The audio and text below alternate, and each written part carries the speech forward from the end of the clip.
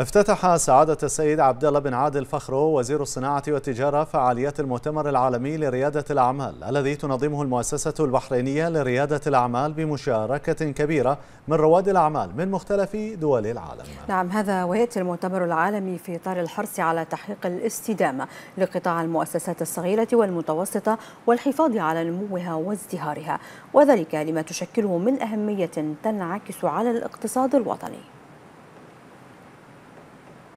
انطلاقا من حرص مملكة البحرين على مواكبة أحدث التطورات في مجال ريادة الأعمال. انطلقت أعمال المؤتمر العالمي لريادة الأعمال والذي أكد فيه سعادة السيد عبد الله بن عادل فخرو وزير الصناعة والتجارة على أهمية تبني المبادرات الكفيلة بدعم وتمكين رواد الأعمال وتطوير المؤسسات الناشئة الصغيرة والمتوسطة مثمنا الدور الريادي لهذه المؤسسات في رفد الاقتصاد الوطني ودفع عجلة التنمية المستدامة.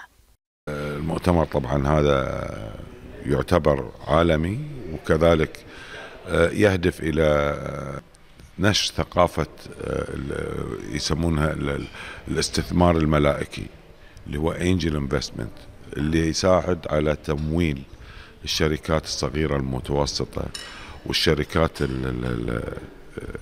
البادئة للشباب البحريني. اليوم تمكين تدعم الشركات الناشئة في عدد من البرامج آه، اللي تخدم رواد الأعمال سواء كانت البرامج متعلقة آه، بالشركات ودعمهم آه، كونهم هم يكونون القطاع يكون القطاع الخاص المحرك الرئيسي للاقتصاد أو دعم الأفراد في أن إحنا نجعل المواطن البحريني الخيار الأفضل للتوظيف.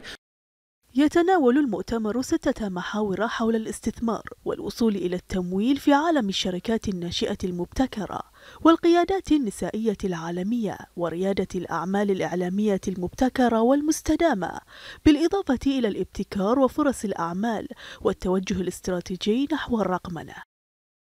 إحنا حبينا إن إحنا نركز على دعم رواد الأعمال آه يعني وجمع المتحدثين ومشاركين من جميع أنحاء العالم آه لمناقشة آه مواضيع مختلفة تهم منظومة ريادة الأعمال عالميا.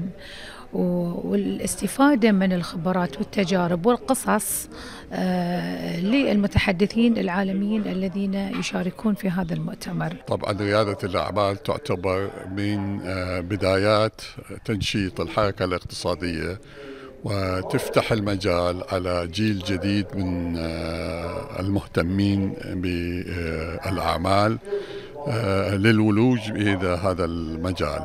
دور مملكة البحرين بشكل عام آه، في مش بس في على المستوى المحلي بل على المستوى الدولي إنه وصلت إلى هذه الدرجة العالية من آه، ثقافة آه، ريادة الأعمال. يضم المؤتمر عددا من رواد الأعمال والمتحدثين من جميع أنحاء العالم لمناقشة تطورات الأعمال وريادة الأعمال واستثمار الفرص في هذا المجال والوقوف على التحديات وكيفية التغلب عليها. يأتي المؤتمر العالمي لريادة الأعمال لإيجاد حلول مبتكرة لمساعدة رواد الأعمال في تطوير وتأسيس المشاريع التجارية في مختلف دول العالم. ريم جناحي لمركز الأخبار تلفزيون البحرين